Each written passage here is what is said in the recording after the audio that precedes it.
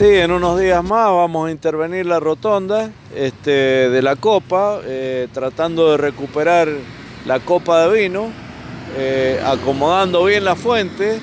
eh, modificando un poco lo que es la fuente de agua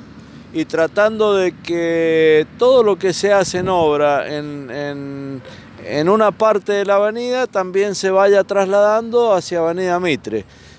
ya comenzamos con el Paseo Luz Huerta y bueno, eh, para nosotros es fundamental eh, este nudo vial ponerlo eh, en valor y en condiciones. Roberto, porque bueno, además de que lo van a disfrutar los sanrafaelinos, también los turistas, porque es mucho el caudal vehicular de visitantes que ingresa por esta avenida.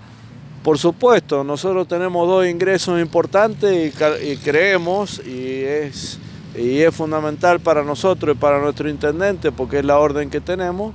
de poner en valor eh, como ya lo hicimos en Hipólito Yrigoyen y como estamos trabajando en Hipólito Yrigoyen con todo el paseo Rawson, poner bien en valor este sector de la ciudad que se nos ha venido quedando y que ya hemos comenzado eh, a partir de Patricias Mendocinas con la nueva obra del canal, ir avanzando hacia este, hacia este sector.